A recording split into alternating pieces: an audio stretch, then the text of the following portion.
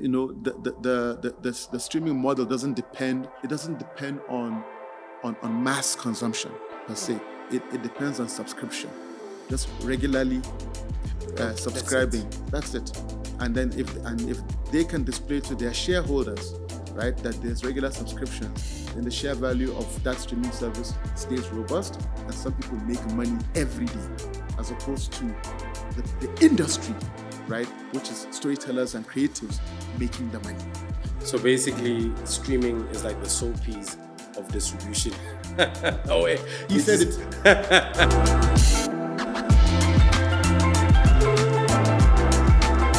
Greetings and welcome to another exciting installment of the Film Biz Show, the only show where we delve into in the industry professionals' minds to get an insight of the current landscape of the film and television business, both in South Africa and internationally. Please subscribe, like, comment, and turn on the notification button so you are aware of our future episodes that you will love so much. Now, if you're in, in this industry and you have not heard of this man, then I'm afraid that you have been living under a rock. Literally. His journey began after obtaining his bachelor's and honors degrees in both National Film Institute of Nigeria and AFDA in South Africa, Johannesburg. He has fulfilled his role as a director, producer, a writer for shows such as Shaka Ilembe, Ashes of a Red Cow, Sierra's Gold, House of Zwide, Zone 14, Isibaya, Jacob's Cross, Society, Skwizas, Room 9, My Perfect Family, Tshisa 3, Mfolozi Street, Jewel, and so much more. His documentary, Burning Man, won him three Golden Horns. He's also one of the directors for this new Showmax show, Red Ink. Very exciting. Ladies and gentlemen, he's done it all. Please, let's welcome the legendary director, producer, writer, and mentor, Adze Ugah. Well done, brother. Welcome, welcome. welcome. Thank you. Yes, thank sir. you. Thank you so much. Welcome. That doesn't sound like me though, but Hey. Eh, it's always scary to see the work that you've done. And, and you think you've just started. Mm, Yeah. mm, yeah. You've still got some years ahead of you too. I hope uh, so. Yeah. now, as a you are a household name who's done Hmm. a whole catalog of films, you know, that are widely recognized. But my interest is where did it all start for you? How did this uh, bug? How did you get bitten by this bug? Ooh, okay. Um, let me start by saying I think I was lucky, Mm. lucky to have been chosen by the storytelling bug, Yeah. as opposed to the one who chased the storytelling bug. And it began, you know, many years ago when I was still a child, the first of many siblings, five Okay. to be specific. Um, my dad worked for the uh, Nigerian version of the SABC, and he was an engineer. Uh, and he used to come back home with a lot of broken VCR machines that needed to be fixed. And in those VCR machines would be some odd tape of an old TV movie, you know, from Hollywood or wherever. And would always get a glimpse, you know, of those films. And he would, once the machine was fixed, would watch it all from beginning to end. And it was fascinating, you know. And bearing in mind that time in Nigeria, right, TV sucked. There really wasn't much on TV. TV began at 4 p.m. and ended at 10 p.m. That was TV. There was no private TV stations. There was nothing entertaining. Everything was government based, and it was mostly talk shows to basically improve the quality of uh, of people as opposed to entertaining them. So, so, so TV was really, really not, not, not a viable thing for anybody. It was just used for government propaganda. So those films were a fabulous breakaway, if you know what I mean. They were refreshing, you know, they opened up my eyes to a new world. You saw characters and you saw heroes whom you wanted to emulate and, and, and basically kind of like, you know, relate with. And, and that was so fascinating. On the one hand, my mother was a social worker, and she was just this fabulous storyteller. She could just keep you enraptured with stories for days, you know. And growing up in Nigeria at that time, you know, electricity was very scarce. People think load shedding is like a new thing. It's been there, like we've been having it as the old advert will say. We've been having it. We've been having it. Uh, spend hours with no electricity, sometimes days and weeks. And so, of course, there was always this thing of gathering around and people talking. And mom was just very good at just telling our stories. And, and I suppose that was kind of how the culture just started, especially for me, my, my family. Um, and I just took to storytelling like a fish takes to water, you know, to the point that, you know, when I watch a film, you know, I go to school the next day and I'm the first person to gather my friends around to tell them the story about the film. To the point that, you know, our class teacher, when she had to mark, like, uh, what do you call it, uh, papers or something like that, and she needed the class to be distracted by something, she would call me up to stand in front of the class and tell them about a film that I saw. And 90% of the time, I made those stories up. I just combined four or five different films. You know, those who saw the films were, well, that's a lie, that didn't happen. Yeah. But, you know, people went, oh, but God. I mean, they, they were very, very enraptured. It worked. And, and yeah, and, and I wanted to just, you know, take it to the next level. You know, I wanted to be able to make people feel the way I felt when I watched the film. I think that was for me the biggest thing. You know, just to be able to share the emotion, the experience of, oh, what a journey, what a what what I mean, you should have seen what this guy could do. He could fly, he could punch through walls, you know, he could run so fast, you know, whatever. You know, because you know, we're dealing with things that were very, very restrictive and suppressive. So any kind of escapism was welcome. And and I wanted to share that escapism with as many as I could, you know. And um, so yeah, but at that time in Nigeria, there was no such thing as a film school. And given the economic situation, you know, given leaving the country to study was out of the question, you know, like uh, Trevor Gumbi would say, in this economy. yeah, it was tough. So I, I tried to become an engineer like my dad because that way a future was guaranteed in terms of getting work and employment. But I, it was frustrating. Mm-hmm.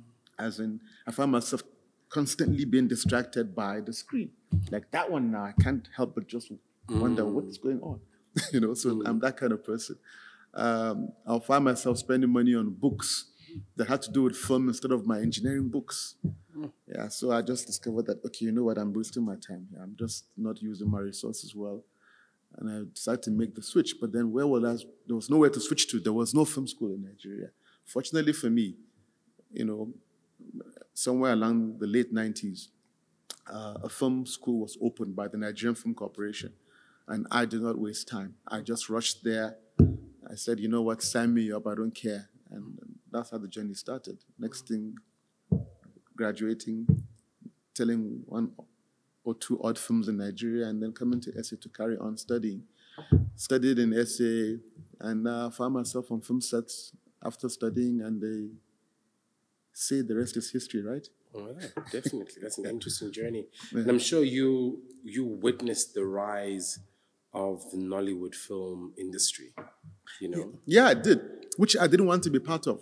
You know, because I, I felt like that was not um, what I wanted to be kind of attached to. I didn't want to be a Nollywood filmmaker because as much as I saw them and I knew what they were trying to do, you know, there was something about the way they were being done that didn't appeal to me. And, and I, they had fabulous stories, but the execution was so bad. And I thought, no, man, no, man. Interestingly enough, you know, while I was in film school in Nigeria, right, we had watched the Shaka Zulu series that was made here in 1987. And when I saw that, I was like, that's South Africa. And in fact, that was what inspired me to come to SA to study. When I saw that Shaka Zulu series, I was like, if the South Africans can make movies like this, that's where I should be studying to know how to make movies, especially from an African context. So it's weirdly enough, I find myself now also working on a new version of Shaka Zulu. Yes. You know, so things have come circle, full right? circle, yeah. Full circle. So so yeah, because Nollywood just didn't cut it for me, you know.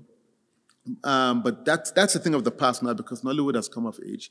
They've caught up, you know. They've improved their quality of presentation, their cinematography. Many things have improved. Definitely. You know, storytelling, yeah, it's, it's all there. So yeah, so the, so the journey is still ongoing. Yeah, definitely. Mm. And, and, and you, you see, I mean, the South African and Nigerian markets are like two different markets, you know. Yeah. But I, I, I I am aware in the grapevine that some of these streamers have been interested in kind of carving out a narrative that can unite these different markets from different territories in the continent. You know, you know, you know, you know the funny thing about when um, Europeans say, "Oh, I'm coming to Africa." I mean, you've heard that before. When Americans say, "Oh, I'm coming to Africa," and and it feels like um, they're wrong for saying that because Africa is not a country. Africa is a continent with so many countries. I want to beg to differ and think they're right. That Africa is actually a country, you know, with, with, with, with different tribes. It's just that, you know, politics and colonize, colonial, colonial, that word, Colonialism. colonialism, Yes, you know, basically broke us up into small segments and basically made us, uh, what do you call it? Uh, eh, you know, we're now, Divided, uh, yeah, they divided us, yeah. divided us to conquer us so that they can take from us, that sort of thing. But we are essentially one people. We've always been one people. We are Nguni, we are so many things, but we are one people. And, and we've always been connected. You know, our stories have always been shared. Our experiences, our cultures, all of that has, it's been, it's been one thing.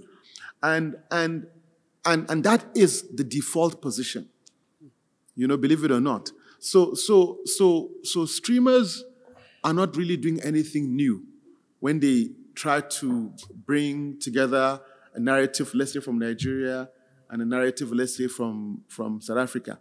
These stories and these interactions have been happening before they could even be recorded. They've been happening. You know, it's it's about identifying the opportunity of saying, you know what, this occurrence needs to be given its space on screen. Hmm. And that's what we should be doing. You know, not treating it like a new thing, because it's not a really a new thing. It's never been a new thing. We've always been interacting. You know, it's just that, you know, our focus has been on other things, especially when it comes to the screen. You know, and and and that has been to a certain extent, you know, uh, responsible for the diminishing of the capacity of the industry. You know, the reason why Europe is as strong as it is right now is because you know Europe have a sense of yeah together Collective. Yeah, they do. They are collective. They're yeah. collective. You know, the Asians to have that sense. The Latinos also have that sense. But you know, we, we are still suffering from the fragmentation of the colonial masters. You know, to the point that when we, when we try to do something that involves um, two African countries, they call it Pan Africanism. But you know, when my ancestors walked from the west, you know, of Africa to the south of Africa, they didn't think they were living continents. As far as they were concerned, this is what is, One trail. we've been having it. you know, you know, that's, that is their perception. But then, so so it's all of these notions are not new. I suppose the, the, the, the thing that is new about them is the packaging, as in how do we package it and how do we present it and how do we make it uh, monetizable. Yeah. You know, how do we make it an industry? You know, how do we capitalize on it to to benefit everybody? Mm. I think the one instance where it worked well was with Jacob's Cross. Yeah, yeah, yeah. No, that worked very well. Mm. That worked very well, you know. And, and and it took some brave people to accept that this was a reality that mm. we should basically just point a camera towards and then have mm. have have a narrative generate generated from that. It it just it didn't take anything apart from courage. You know? Yeah, something that's Nigeria has not suffered as much as South Africa. I mean, one thing South Africans have been complaining about is, you know, whenever, or Southern Africans, whenever there's iconic figures to be played, you know, real strong men who've changed the narrative in history, we always get the Hollywood stars come and play, like Yeah. Ian Seretse, I mean, Seretse Khama, uh, in, uh, Ian Khama's father, Yes. um, you know, the Nelson Mandela biopics and so on and so forth. But but I feel Nigeria has such amazing stories, you know. Uh, at least now, up in up until recent, I'm seeing that there are kind of you know depicting some of these stories, but Yes. you know still narratives of the Biafra War, what happened there, the recent uh, you know uh, kidnapping of you know these schoolgirls that have been Yes. happening. So, but with Nigeria, at least you. I don't think so. It has been infiltrated to a point where you have another nation speaking on your behalf. Mm. Yeah, which is I think it's a you guys are it's, Nigeria is still in a good space in that regard. But mm. I definitely agree with you in terms of kind of amalgamating, you know, ourselves to say, look, we are one unit, and we should find a way of carrying the load together. Yeah, no, absolutely. I, I think um, South Africa's problem mm. per se has been its proximity to the West. Yeah.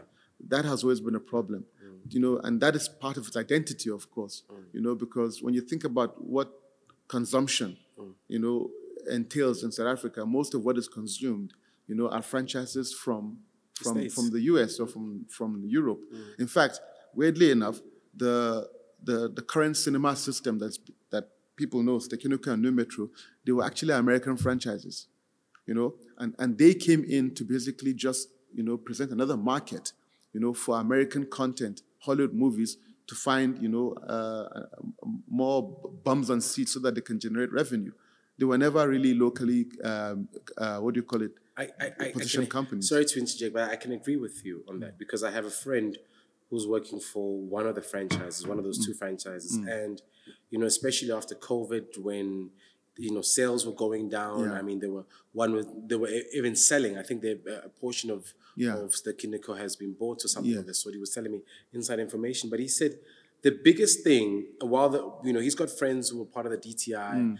and the, their biggest complaint, the DTI and uh, you know all these institute IDC, Mm. were saying we've never had a sit down with any of these franchises to say how do we create content in house. yeah, I know. And isn't it crazy? Yeah. You have this huge distribution platform, And but you're not even investing Yeah. in yeah, so yeah, clear. You yeah, know, no, it's, no, clearly. I mean, so Yeah. there's an agenda there to- to, keep it so that it serves Hollywood and Hollywood only, Hmm. mostly. So that's why even when the South African films are being made and they go there, they suffer short periods of rotation and they suffer also from given a limited number of screens. Yeah. Because space has to be made for Fast and the Furious, Hmm.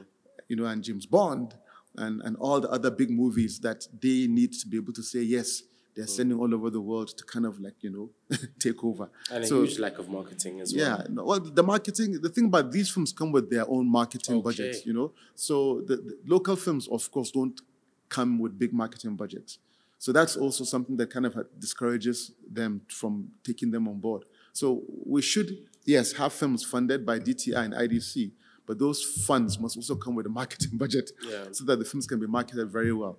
You know, I mean, it's crazy, you know, yeah, you know, like McDonald's, KFC, and all of these other guys saw the market, they opened up, mm. you know, and that's why they enjoy the kind of revenues that they enjoy. But that's, our cinemas, you know, want to keep, and notice this, I mean, every cinema in the country is in a mall. Mm. Only one is in the township, basically, which is Maponya. But all the others are in malls, in My suburbs. but it still is a mall itself, isn't it? Yeah, well, yeah, but it's in the township. Yes, But all the others are in malls and suburbs. Yeah. When you think about it, so you ask yourself, who is the market? Who's the target market? You're so right. If all the, the cinemas are in malls in suburbs. But I guess it's also incumbent on us, you know, who are part of this this business to say, okay, fine, then then what other gaps can we fill? Yeah, You know? So, so yeah, their loss is our opportunity, and we should think about filling. the- Uh, look, the, the truth of the matter is that developing the film industry of any country starts with cinema. It starts with mass audiences, mass viewings. You know, having 200, 300 people seated in one place, dark, and having magic happen on the screen. It used to happen in the old days, you know, during apartheid, right? You know, bioscope culture and everything. You know, but but China, India, you know, you name it, have all built their industries on mass viewings. That is how you build an industry, not on streaming. You know, streaming is like straight to video, or, or, or it's what straight video used to be, but but in America as well. The the population moving en masse to to share an experience, to share in a culture or in a narrative is how you build an industry, is how you create the culture. But don't you kind of feel like I mean the reality is, you know, the era of of cinema is is kind of passing by. Well, you will find one person who tells you that's not the case. And that person is me. no, I'm, I'm a firm believer in cinema. Cinema is not going to die. In fact, people started calling the death of cinema long, long time ago. When, when TV was made, they said, ah, cinema is dead because now we have TVs at home. And then when the internet came, they said, ah, cinema is dead because we have internet. You know, the same thing is going to happen. Cinema depends, and it, it, cinema is part and parcel of humanity. It's, it's the reason why people go to the soccer stadium to watch a soccer match as opposed to sit down at home. It's the reason why people go out to party. You know, it's the reason why people actually club. Cinema is just another extension of, of, of, of socialization, you know, and, and, and one that is even more meaningful because you learn from it as opposed to the others, you know. Somebody's going to score a goal in a soccer match. Mm. You go to a club, you'll spend money, you'll drink, and you have a good time. But if you gather in front of a screen, you might just learn something. Yeah. you know what I mean? so, so, yeah. so my belief is that that innate thing, that innate desire to share experiences, to share stories, right? You know, is still uh, being presented by the platform of cinemas. And as long as we as human beings have the need to rub shoulders with each other, cinema will never, never die. But don't you feel like now with I mean we in popcorn kind of microwave generation, people want quick things, and that's exactly what streaming offers the young generation. True, but then look at what films like Oppenheimer have done. I mean, like one billion, Barbie. You know what? That, these are stories. You know, pe- stories that connect generations and, gen- and that connect cultures. You know, I can go on and on and on. Fast and the Furious. All of these things are they they're But I, w- I wish in that list of yours we would at least mention an indie film that wasn't produced by a studio or a local film that Oh. Yeah. did phenomenally well in the Yeah. recent times. Yeah, well, so I suppose that's the end goal then, right? Hmm. That that we work towards getting films that are independent, you know, small budget, but with meaningful stories, also performing the same. You know, but it, it, it used to happen in those days where films would be made for like forty thousand dollars. Blair Witch Project, for example, Oh, will make millions.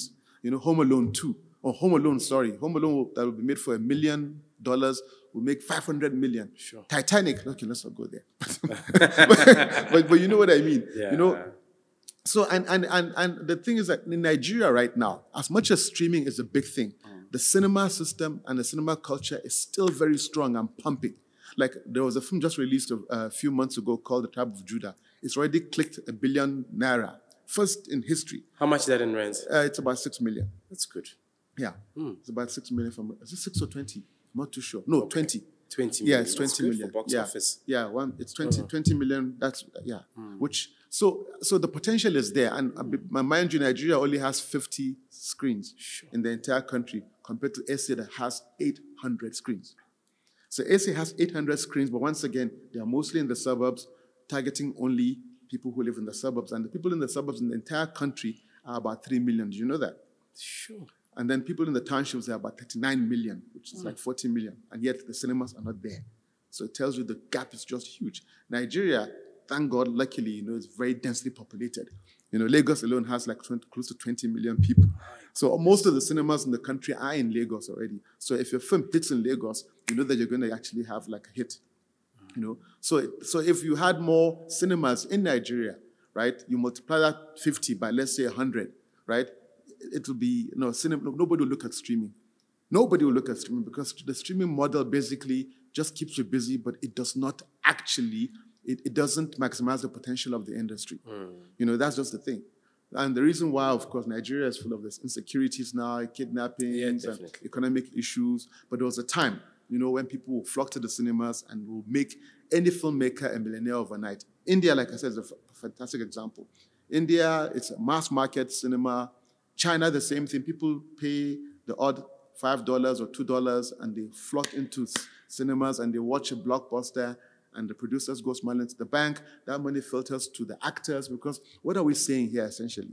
It's about building the capacity of an industry so that you know uh, people can can can become avenues for wealth creation you know stars you know brands merchandising you know bringing to, together an a whole ecosystem that actually begins with storytelling you know and, and and and that is how i in my capacity or rather in my understanding you know where we should be positioning ourselves towards you know because otherwise i'm not I, don't get me wrong i love what is happening with streaming. I'm happy that we- we're in the streaming culture but i do know also that you know the the the the, the, the streaming model doesn't depend on um, on on it doesn't depend on on on mass consumption per se. It, it depends on subscription.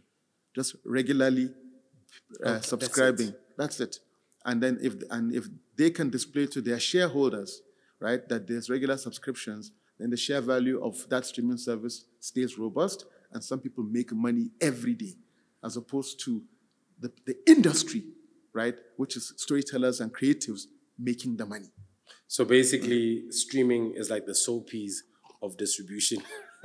oh, wait. He said it. Marcus is the one who just, said it. It just goes on and, and Yeah. it's a subscription. Yes. Yeah, okay. Yeah. I, I, I, I, I basically understand what you're saying. No, I, I remember when um, they, they, they built the Soweto Theatre in Soweto, right? Mm. And it was struggling for a long time in terms of audience. Mm. And, um, you know, obviously I was very close to that kind of, you know, the people who were, you know, in the forefront of that. And the biggest problem was now, how do we change the culture from going to the club on the weekend to people going and sitting down and consuming stories? How do we take them back to where they come from? Look, it's no easy task, and and and, and many people that uh, will hear this will not agree with me. They will think I'm I'm I'm being fantastic. Yeah. They will think I'm being naive. They will, they will, they will think I'm not being realistic with what is on ground. The- And the truth of the matter is, is it, it, it was there, but it was truncated. So South Africa had a cinema culture. People in the townships used to actually flock to where there were screens and they would watch films. But because of the potential threat it presented to the government at that time, hmm. it was interrupted, it was aborted, hmm. It was stopped because it was a means of gathering and people will now hear about the struggle, about, you know, get updates. And, and the government knew that we can't have this happening. So the government interfered with the cinema system, and we are all reaping the, the, the woes of those decisions now, which is the reason why the culture seemed to have stopped. Because, you know, you name it, state of emergency, you know, lockdowns, curfews, you know, I mean, you know, uh, bannings, you know, shutting, shutting down of, of, of, of public gatherings. There was, there was just no way uh, a cinema culture could have thrived there. In fact, they even shut down the idea of having South African black movie stars. Hmm. Ken Gampu was already on his way to becoming our James Bond, if you remember, hmm. you know, with his films that showed black masculinity, you hmm. know, kicking butt, you know, taking out bad guys. And he was already like a star. People were like, oh, Ken, Ken, Ken, Ken, Ken. They shut him down. He had to leave the country. You know what I mean? He had to just try and find a future somewhere else because they knew that once he became that iconic character, he's an artist, right? That was a problem because that means you could spread the narrative that they didn't want. You know, so so so so it's about undoing that. It really is about undoing that. It's it's about starting with, of course, telling great stories that will actually get people to actually, you know, choose to inconvenience themselves and flock to a place to gather and enjoy cinema with friends, family, and even enemies. Mm.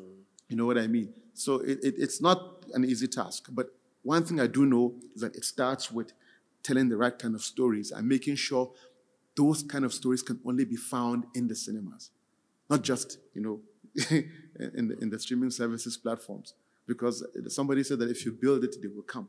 If you know what I mean. It's uh, Very interesting. Yeah. Now, with credits on dramas like is Isibaya, Jacob's Cross, Mm. which we've just mentioned, House of Zwide, you've demonstrated uh, versatility across different genres. Mm. Just tell me, how do you approach, you know, directing different types of, of, of genres, and do you have a, a preference in any particular genre? Um, I love action. I love action. I love anything that helps me escape my present reality. You know, I, I, I, and when it's done so well, you know, it resonates with me so, so much more.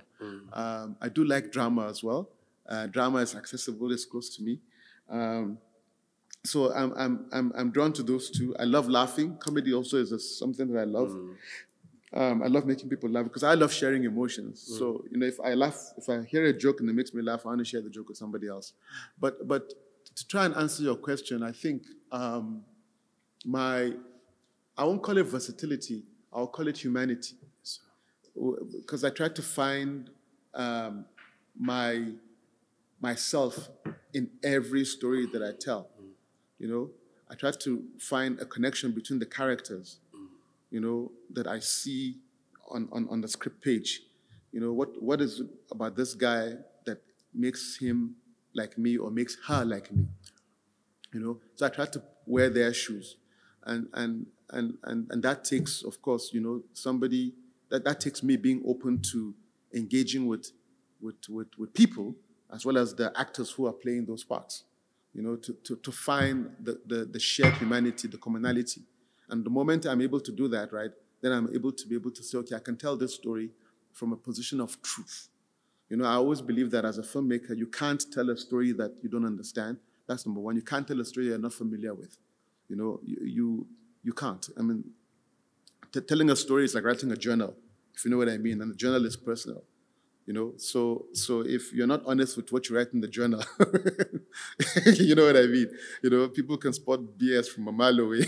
not so, true. Yes, so so that's what I tried to do. I tried to to to, to basically walk in the shoes of of the characters, and and try to find some understanding And that helps me kind of like navigate how to best position the story for the benefit of the audience. Mm. Because if I can't feel the character, right, then I it's stupid for me to expect the audience to do to feel it.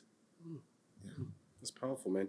But I mean, in this one instance, you you kind of broke away from from that and you created a documentary film, Ooh. The Burning Man. Now, this received critical acclaim, Hmm. won multiple awards. Could you please just share your experience on this project and how it differed from directing scripted content? The pictures were in every newspaper in the country and around the world. News reports said a mob had burnt the man alive.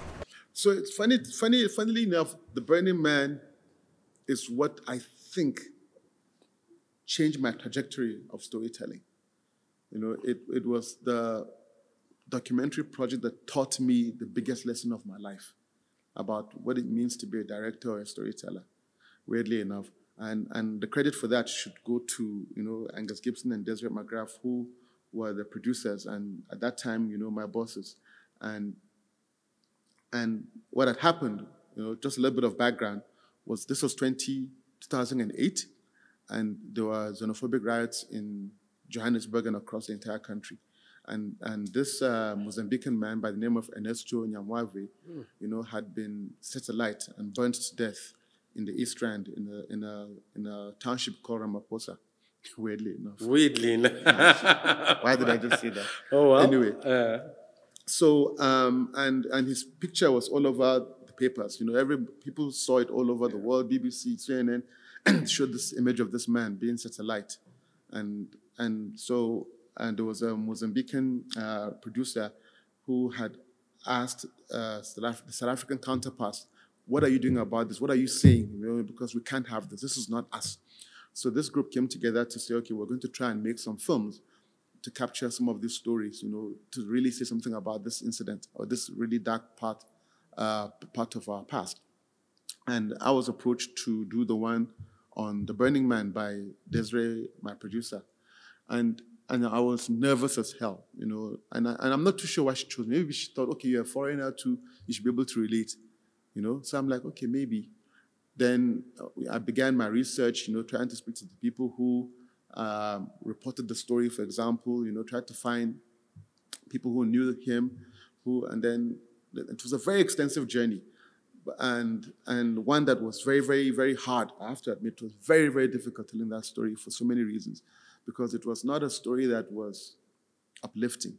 I mean, it was about a man who had been killed, a man who was a father, you know, he was a brother, he was a husband, you know, and and and and it didn't it wasn't hard for me to relate, but then that relating was also difficult in itself because why would you know it's it's it's not where you want to go Place to yourself. as a human being because mm-hmm. of how traumatic the situation was. So so that was the beginning of it. And by the time, you know, I had filmed, I was doing my own sound, I was my own cameraman. You know, I basically wrote the script. And of course I got help and input from Desiree and Angus. But putting everything together, you know, was quite tasking and quite overwhelming. And by the time I put together the first cut, right, I discovered that I had done something.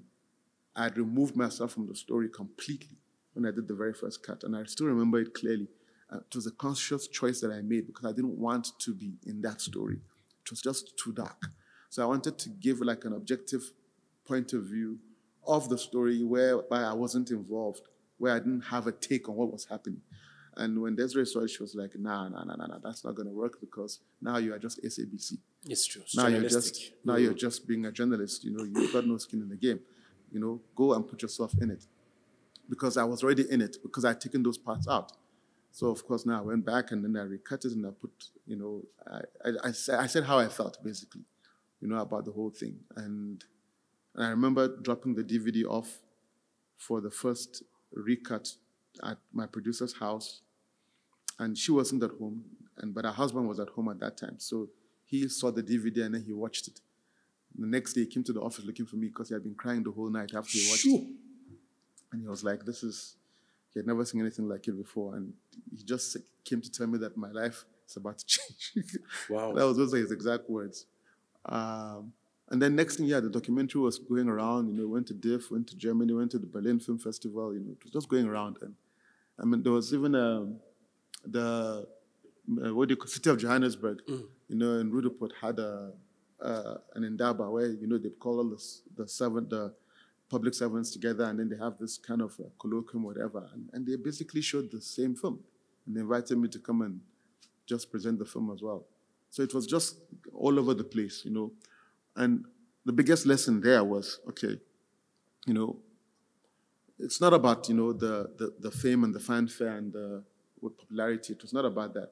It was it's now me understanding what, the power of being personal when you tell a story that all of a sudden just opened up to me that okay this is this is really what it's all about.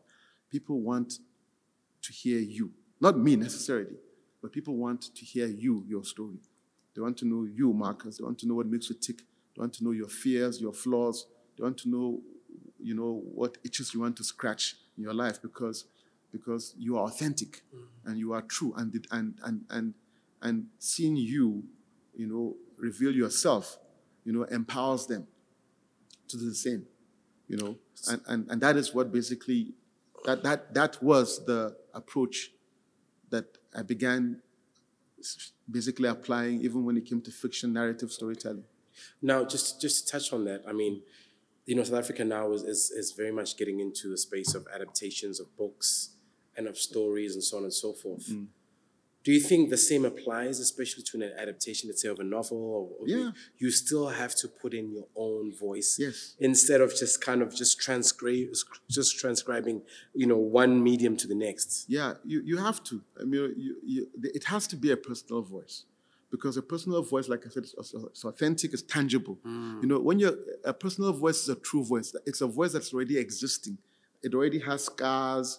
It already has flaws. It already has trauma. You know, it already has uh, it, it has the organic history, you know, of, of, of character that you're not you're not creating from scratch, you know. And when you do that, you know, you people feel the weight of it, and they know that this is not uh, uh, something that is not marshmallow. you know, it's it's substantial. They can feel it, and it's been how, for example, Bomb approaches storytelling. Oh, Everything is rooted in in in a personal point of view and a perspective of truth, because that is authentic. You know, it doesn't mean that that is the only truth. You can have multiple truths, which is okay, but but at least you're experiencing one truth of a particular thing or one side of it, mm. And and that will make you go think. You know, that Which will is- make yeah. And that truth is focused and intentional. it's focused and It's not trying to be everywhere. No, it can be. It, it's not possible. You know, Yeah. you know, you can only have. That's why you, the the, the individual's identity is unique. There is nobody like. you know I'm, I'm i'm basically asking this because you know i've had a personal experience where we got rights um, to work on a, a, a biography Mm. you know of this particular person who's had like an extensive life Yeah. and it runs over decades like three four decades Mm. in the south african perspective and the writer that we got you know with the drafts that we had Mm. it's like whew, this script is going everywhere. Like it's going, it's like you know, it's touching every decade, and and at the end, you're like, wow, it was one long, you know, you know, like uh, what do you call these things? You get at the obituary or something, Yes, you know. exactly. He went here, and then he Yeah. did this, and then he did that, Yeah. and there's no one perspective. So, so and, you know, so I mean, I did a course a while back mm. when we were shooting Shaka iLembe, and it taught me something. It's called Project Narrative, and it teaches you about about storytelling. You know, and and what it what what it what it says is that there is no such thing as a true story. So if I'm telling a story, so even the documentary The Burning Man, as much as you know it was a documentary about a man who existed, right? It was still my perspective. And the moment, and that my perspective is not authentic in the sense of the word. It doesn't represent the absolute truth of it. It's one-sided, you know. It just simply opens up the possibility of other sides to the story, which is what actually we we, we use in storytelling because we have to hook in the audience. And, and, and you can't hook them with many things. You know, all you need is just one hook. So even the project you just gave, uh, for example, is whoever was doing the adaptation needed to adapt it from his point of view. So it meant that aspects of that character's story that appealed to his reality and his experience should have been how he tackled the adaptation and not from an objective point of view because it doesn't work. And then you got to jump on another very exciting, you know, co-production, Mm. 10 Days in Sun City. I remember it like it was yesterday. you know, people were interested because you brought, you know, Nigerian talent, you know, Mm. mixed it up with South African talent. American international passport be this. Uh, and the whole aim of it was to promote tourist destinations, Mm. right? Um, so, and, and, and I'm sure there were some some unique challenges, you know, in terms of directing the film and so on and so forth, and trying to, you know, kind of work out a, a good balancing act between entertainment and promotional mm. content. Mm. And funny enough, you know, this past week I was having, you know, obviously in a meeting where we'd been pitching work and so on and so mm. forth, and and um, so this this company was like, okay, well, this is a model that we can we can kind of uh, explore, hmm. which is basically bringing on brands to be a part of the hmm. actual development hmm. process and working that out. And as much as you know, I mean, right now we're always constantly worrying where where am I going to get the money? But once you bring on uh, you know a brand or someone with like a, a promotional marketing branding interest, it does kind of shift. You know, Yeah. How, how did you work that out? Well, look, I was lucky that the, the lead for that, for 10 Days in Sun City, was A.Y. Makun. A.Y. Makun, for those who do not know, oh, is big. literally the big. biggest Comedian. Eh? comedian mm. on the continent. Mm. He's the biggest comedian on the continent. Some say he's the biggest movie star on the continent. Mm. You know, he is so big. I mean, he's got close to like 40 million followers on Instagram. That's how huge he is. So, and and and and he's an artist. He really is an artist. He's like one of the funniest guys you'll ever come across in real life. He, he so so that made it easy. And and and when we, we had never worked before, somebody recommended me to him. And when we began talking, you know, I was going to let him do his thing, but I was going to try and find the aesthetics of, of, of what made South Africa or Sun City, as it were, you know, a tourist destination. Fortunately for me, I'd never been there too at that time. That was my first time. So when I got there for the first time, I was also a tourist. I'm like, oh my God, oh my God. So I was literally, you know, overwhelmed by what I was seeing, and I wanted to replicate that, that same experience for the benefit of the audience as well. So that was my approach too. So even the way I, I selected the, the kind of camera we use and the way the camera should move, you know, I mean, it was the first film I did without a tripod ever. Told the DOP, we're not going to have this camera sitting on any tripod. This place is so dynamic. There's so much to see. It's like a journey. So the camera is going to be on the handheld rig. I'm sorry, on the Steadicam rig from beginning to end. You know, and we've got 10 days to do it. Next thing I know, AY is calling the film 10 Days in Sun City as well. Oh wow! Okay. That's how the name came about. Okay. And, and, and it was such a blessed experience because, you know, uh, um, Southern Sun basically shut down Sun City for us for that duration of the shoot.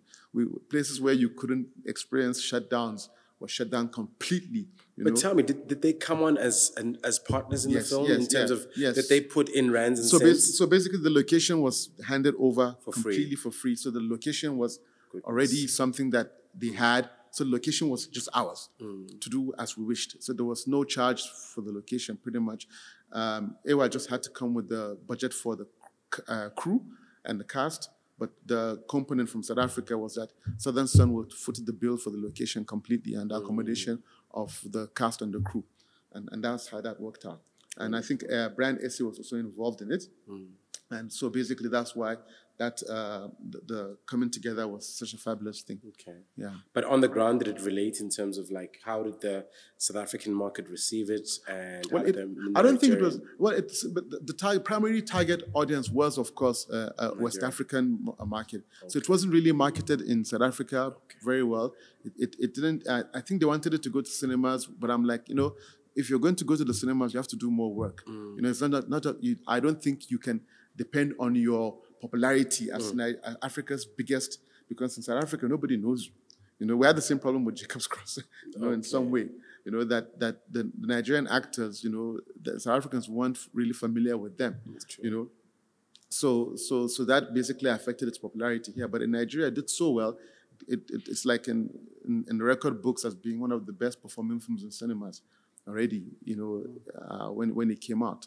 But why do you think so, that's so? Do you think the Nigerian market is a bit more receptive to I think South African I content? think I think I think there's been. Um, I, I, want, I want to say that you know South African audiences are still discovering themselves Mm.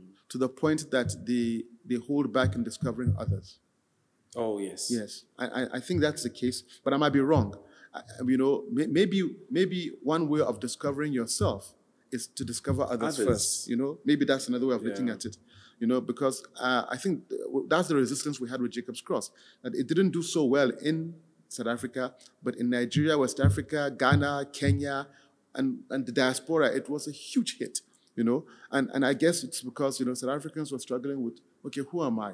Yeah, and I- and and if, if I don't have that unpacked for me, you know, why should I be interested in somebody In else someone when I'm else. still de- still dealing with my own identity issues? Yeah, but I think also we have a big problem historically in Mm. South Africa because we are very, you know, apartheid really That's it. Yeah, closed our minds a lot, Yeah. and we are a nation that does not travel, especially to other uh, African yeah. Countries. well, because there's no need to, you know, because everything you want is here. It's here. You know, but but the cultural exchanges, you know, the the the understanding that there's more to you than just meets that, that meets the eye. You know, that's why I'm saying that it's stories that basically solve those problems. It's nothing else. It's not the government. It's not the church. You know, it's not the schools. It's basically stories. Storytelling is what basically fixes these things. Hmm. That that that that that inspires you to want to get up and basically cross the border, whether legally or illegally. Make a plan. Yeah. Make a plan. But you know? but yeah, but, but Yeah. I'd say I mean just a quick one. I mean, as a director, you've also you've worked on both like you know South African Mm. films, internet and international acquisitions for platforms like Amazon Prime and Mm. Netflix. How does your approach differ when working on local versus international projects? I, I don't think I have a different approach. My approach is the same. Um, I mean, sometimes international projects just have bigger budgets. Mm. That's all. And, and what bigger budgets buy you is just more time. That doesn't that doesn't mean that it's going to be a better project. Mm. Just bear that in mind. Sometimes not having enough money is your best friend mm. because that way that means you are quite innovative and creative in how you solve problems and how you get to the point that you need to get to. So you, you work faster, you work quicker, and you work smarter oh, to arrive at, at, at solutions that will have the same emotional impact on, on the audience. So so I personally don't have a different way of, of working. You know, I mean it might just be okay, you have more time for prep, you have more more money for edits and, and stuff like that. But but the, the groundwork that goes into pre-production and production for me is the same across the board. Okay. Uh, now, I mean, I know you're also involved in, in, in, in film training and mentoring of programs. I mean, that indicates a commitment to nurturing the next generation of filmmakers from hmm. you. What advice do you have to emerging directors and what qualities do you believe are essential for success in this business? I, I believe if you want to be successful as a filmmaker or a storyteller, you have to love stories. You have to love stories. You have to love stories more than you love food. You have to love stories more than you love sex. you have to love stories more than you love fast cars. Hmm. Love stories, right? And then, and, and secondly, you, you need to be somebody who, who, who loves learning, learning from others. You know, you need to be a sponge that basically absorbs and sucks as much as you can from other people. You know, whether they are male, female, white, black, foreign, indigenous, you know, rich, poor, you know, you have to be somebody who who embraces everybody and and, and is willing to learn from everybody. Nobody is uh, is irrelevant as far as being able to learn and experience, you know, from is concerned. Uh, reader, reading is 100% non-negotiable. You have to be a reader. You, you have to read like your life depends on it. You know, because if there's load shedding, of course you can't watch, but you can read. Reading is important. And, and I personally read a lot of non-fiction, which kind of helped me understand the world more. Because you can't really tell a story unless you have godlike knowledge of that world. Something that a wise man once said. You know, and, and the only way you can have godlike knowledge of anything is if you know if you study it. And and then taste taste is something you must develop also. You kind of have to know what looks what looks right on screen. You know what what sounds right. So you know what, what feels right. You know, and, and and that taste is, is acquired over time. You know through engaging with other people's work. You know why is this person's work successful and this person's work is not. and then you develop the instinct for being able to recognize what is interesting, what is unique. You know, sometimes two things could be boring to get uh, separate, but bring them together. You know, something changes. So it's about experimentation, also trying out things. You know, with, nowadays there's phones that you can shoot with, you can edit on your on your phone and on your laptop. And nowadays, geez, you had to go and wait and, read when you were when you were reading in the library. It was books and volumes. You were using floppies, three quarter inches to save three megabytes of, of research. You know, you, you had to just photocopy things. And today, you know, the world is basically at your fingertips. So so if you're not voracious about wanting to know, you know, about filmmaking, right, then, then, then you're not really somebody who has been chosen, who has been called by the storytelling bug, as it were. I love what you said in the Mm. beginning. You said, you know, you were one who was, you were lucky to have been bitten, chosen by the bug, Yeah. and not you chasing the bug. Yeah. Because we've seen so many people come and go because they, you know, they, they were chasing it and Yeah. Mm. it just wasn't for them. But now with the rise of streaming platforms and digital distribution, Mm. how do you see the future of African cinema evolving? And what opportunities do you think these changes present for filmmakers on the continent? So, so for, for a long time, filmmaking has been almost like a the domain of the privileged, if you know what I mean. If you are fortunate enough to be somebody who has done good work and people know you, then it's easy for you to attract funding and to attract people, you know, who want to work with you. You know, um, but then if you're not one of those, uh, how shall I say, entities, you know, what do you do? You know, how do you access funding? You know, how do you get your work out there? So, so the streaming platforms have come in to, to really help with that. That, that if you have an innovative story and, and you have an innovative, innovative idea, right, and you are able to get your foot through the door, right, chances are you might actually get your work uh, supported with, with enough money to get it made. You know, I know people who have never produced in their lives, never directed, you know, never thought they would ever actually even find themselves directing like a major TV series. But because of the streaming platforms, you know, that have created more opportunities, they now have the chance to show us what they have. And what, what the streaming platform also does is, you know, it it it it, it allows for more for, for more people to enter into the industry space, you know, to to to more or less practice, for lack of a better word. Um, the issue, of course, is that you know the people who are the gatekeepers, you know, will, will always want to vet your work to a particular standard, and and that is a problem. So my my take has always been to to to to do your homework very well. Imagine that every project that you're working on, you know, its failure is equivalent to the failure of your life. That way, you'll be desperate enough to to to get it done. If, if somebody tells you you're not doing this thing correctly, maybe go back and change it. You won't feel like your ego has been snubbed. You'll go back and make the correction and come back because you want to, get the film made. So, so the streamers are, are are a good thing in the sense that they, they, they are encouraging the proliferation of practice which is what filmmakers need. You know, it's, it's one thing to say, okay, I'm a filmmaker and I make one film in five years. But imagine if you could make one film every year. Oh man, what a You know, dream. exactly. What a dream. You know, so that's what they bring to the table. You know, that, that people can practice. You know what they say about practice? It makes perfect. You know, so you make one, it works, make one, it doesn't work, you learn from it, make another one.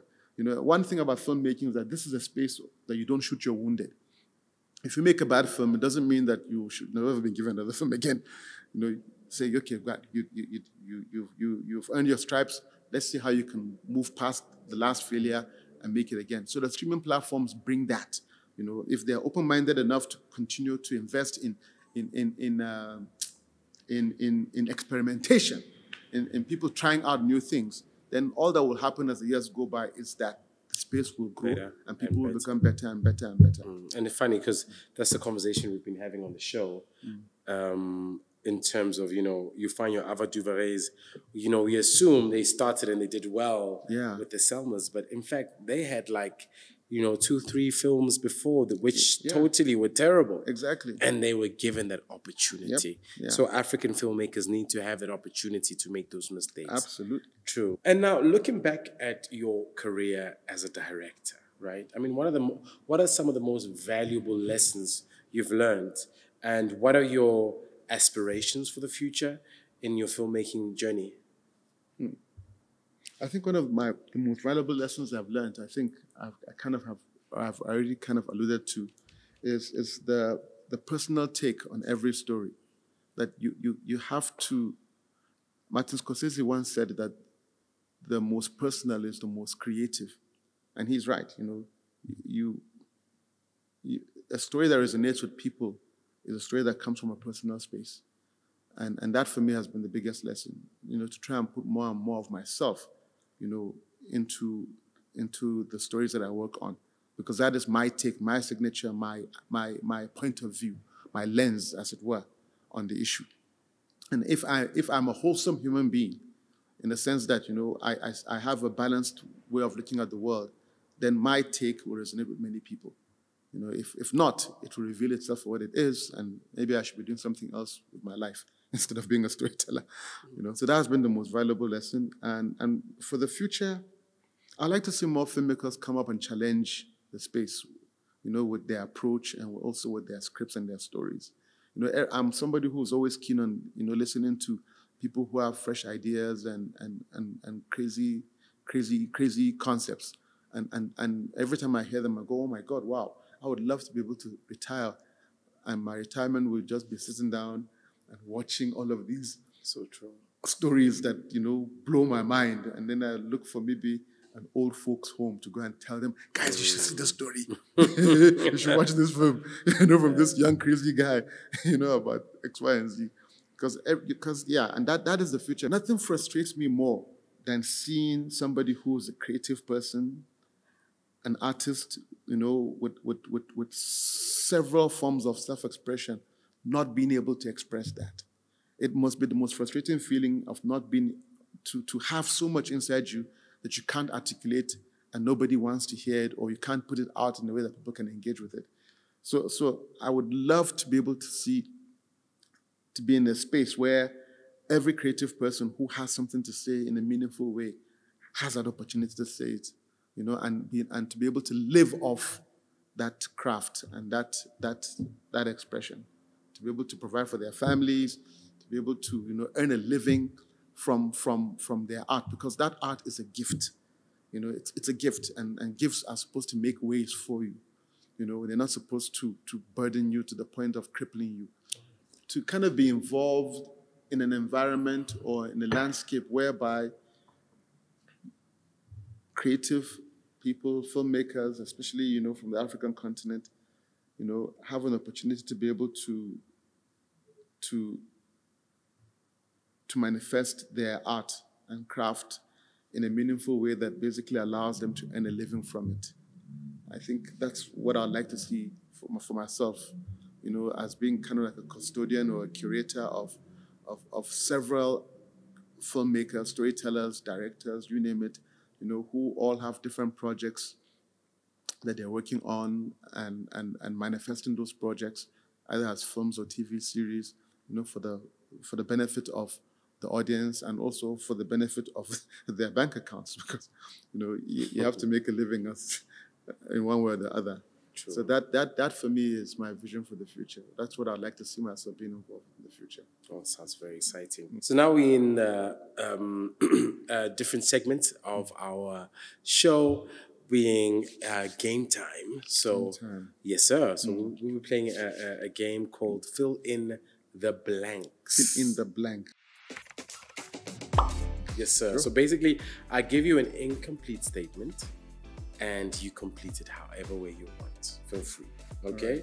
We just want to see your how your creative mind actually works. Oh, so there's no right or wrong answers. The most challenging aspect of filmmaking for me is The most challenging aspect of filmmaking for me is knowing how to end. How to end, Yes. how to end the work, the film. How to end the film. Oh, yeah. Yeah. The toughest part of any story. Yeah, yeah. Finding how we are addicted to like uh, happy endings, or Yeah. you know, we want, want to teach people things. Did you watch uh, the film uh, Leave the World Behind Yes. with Julia Roberts? People were so disappointed with the ending. what did you think of it? I, I liked it. I did like it. I mean, I wasn't bored. I was intrigued and interested. Yeah. Yeah, I, I, think I liked it. I did. Yeah, Yeah, just I- leave them with a bit of a question mark. Yeah. Yeah. Okay, because I, in reality, sometimes stories don't really end, right? Well, no story really ends. Yeah. You know, you just stop watching. Yeah, it's true. You know, we run out of money, one of the two. But, but no story ever ends. I like that one. Okay. My ultimate dream collaboration would be with. Hmm, James Bond. Hmm. I think so. I don't know why. I think James Bond began my journey because one of those VHS tapes that my father used to bring was actually a James Bond movie. Which page James Bond was it? The Man with the Golden Gun.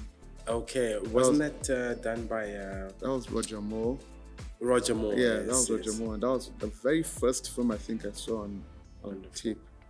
And ever since then, I've been like, wouldn't it be great to actually have an African be involved with making a Bond film? It's like, Now, yeah, I remember there was there was a time where conversations were around um, uh, Idris Elba becoming our, our new James Bond, but it seems like that won't work. ah, who knows? Yeah, we'll. If we can't take their own, we'll make our own. Yeah, it's true. Yeah, so when I'm seeking inspiration, I, of, I often turn to when I'm seeking inspiration, I, I, I turn to to comic books. hmm, Yeah, interesting. I turn to comic books. You're much of a reader, hey? Yeah, Yeah, interesting. if the quicker I can read it, the better. The- And comics are like quite quick, right? One line, whole picture. Yeah. Yeah, Um, if I went in the film industry, I'd probably be a traffic cop. why a traffic cop? Because I'll still be directing something. I thought you'd be talking about the cool drink money. I'm like, ah, this man is a capitalist. Okay. I actually thought you'd be talking about being an engineer. Yeah, Nah, no way. No be Uh, maths would make me go to the toilet. Uh, I'm scared of maths. uh, also, okay, one film that significantly impacted my approach to sto- storytelling is Goodfellas. hmm, Goodfellas. mafia film. No, not really. It's about acceptance. How? That's what actually the film is about. It's about being an outsider and seeking acceptance. That's what the film is actually really about. The, the mafia part is just wallpaper, but it's really about somebody who didn't have, who didn't belong and needed to belong. I was willing to do anything to belong. Is this the one? This is the one directed by uh, Scorsese. Scorsese. Yeah, Yeah. yeah, willing to sacrifice his soul to belong to something that was utterly destructive. Yeah, I don't know why that spoke to me a lot. It's just needed to belong. It's such a big thing for me. It's powerful, man. It's powerful.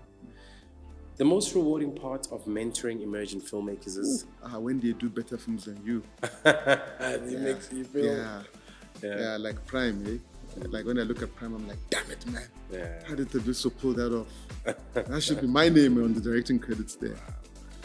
Like he, he, from uh, one of my young people that I mentored, I had a film premiered and came out on Netflix. Hmm. It's a fabulous film. Part of the Netflix NV, NFVF Yeah. slate. eh? Yeah. Yeah. It's wonderful, man. Yeah. um, Really good, good, good, good project. Yeah. When crafting a character, I prioritize. I prioritize. I think I prioritize fear.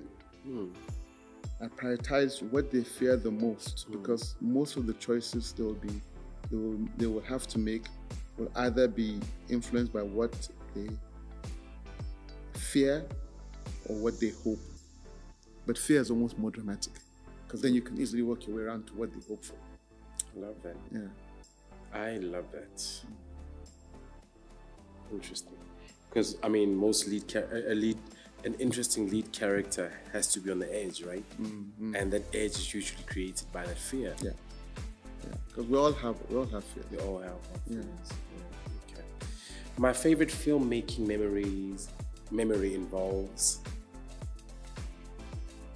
Hmm. So it's interesting. It was Zone 14. Not just. it was no. I've got, I've got so many good memories, but I think Zone 14. Something about Zone 14 stands out. I'll try and be quick about it. But yeah, that, I think I should just say that, right? I don't need to explain or give context. Unless you want to. No, and do you have time for context? How long is your talk? Ah, no, it's, it's okay. No, it's, yeah, okay. Yeah, No, you can you can give us some context. What had happened? I think it's interesting. Okay, so it's a it was a very it was a simple story, right? But but it taught me a very big lesson. So um, there was a scene in which a major character had to die, and that character had to die because they were leaving the show. So they wanted the death scene of that character to be grand and epic, right? So the scene was directed by another director whom I will not mention, and what happened was that they fucked it up. Hmm. They, can I say that? Yes, you can. Okay. They We messed it own up. the platform. Yeah, they messed it up so oh. badly that the client, which was SABC at that time, said nope, they wanted it reshot and redone. So then I was asked to go and reshoot it, just the, the sequence of the scene to, uh, of that character's uh, exit. And said, okay, good. So I, the script was there. I saw what happened. Oh, the person walks back home, enters their house, and then there's a gunman waiting with a gun to basically shoot their partner, but instead shoots them instead you know. So that's how the character died. So they shot it that way, but for some weird reason, it didn't resonate. It didn't feel strong. It didn't feel good. It was, it was, it fell flat. So when it was time for me to reshoot it, now I went back. I'm like, okay, so where's the gun? They said, no, there's no. You're not going to get an armor because the budget has been blown. So there's no armor. You're not going to get a gun. You're going to get a plastic gun if you're lucky. I'm like, huh? Okay, so like so I didn't have an armor. I said, okay, what about the blood squib? Because you want it to be dramatic if the person gets shot. They said none of that because that was used in the first attempt and that first attempt flopped. So you're not getting any of that. All you have is just your actors and your cameras. Make it happen. So I'm like, God, how am I going to make this work? And so I thought, I thought, I thought about it. I'm like, okay, first things first. I looked at the script. I'm like, okay, it was a day scene. First things first, change it tonight. So I changed it tonight. And then I said, okay, what could we do? So wait, wait a minute. We could have her walk into the house. Camera could just follow her into the house, right? And then instead of seeing what actually happens with her getting shot, we cut back to outside the house and then just have the lighting guys flash their light once or twice and run from the window, right? You see the flash and then we add the sound effect of a gunshot. And, and that was it. And when we did it that way, it blew everybody away. Mm. Like it was horrifying. People were like, like the tears that came out when the episode was viewed, and people were calling me. I'm like, but I didn't show you guys anything. I didn't say anything. The rest was in your mind. You made it up. You were the one who imagined how she was killed. I didn't show you anything. The rest was just your fears manifesting. So Less is more. Less is more. Yeah. Okay, so now we're introducing a new uh, mini segment called "Put Them On." Okay. Essentially, it's it's all about putting on, you know, uh, highlighting any upcoming filmmakers in whatever cap- capacity, Okay. you know, that we think we should check out. So, since you're a film mentor and you mentor filmmakers, do you have anyone or two people that you think that we should look out for? Yes. Um, okay. Watch out for Thabiso Christopher, guys. Oh yeah, we're having him soon. He's coming strong. Watch out for Seatley there. Seatley is coming strong. and you'll soon have her on this seat very soon, as, you, may have noticed already. I'd say thank you so much for gracing us with your presence. Thank you. Your our conversation has been very, very informative, entertaining, enlightening, and I think all of us will have something to take home with us. Thank you for continuing to tell our African stories, for keeping the flag raised high, for being brave, fearless, and for being as creative and as a, a, a, bigger brother figure that you've been in this industry. We really appreciate you, and we hope and pray that you have may you have many more years to manifest these stories that have been haunting you, and um, may you give us a sense of pride in our African narrative. Thank you. No, thank you, guys. Thank you so much. I really appreciate it. Woo-hoo. Thank you. We would like to thank Fortune Well, the Magic Lightbox Company, as well as the Dynamic Workspace for sponsoring this episode.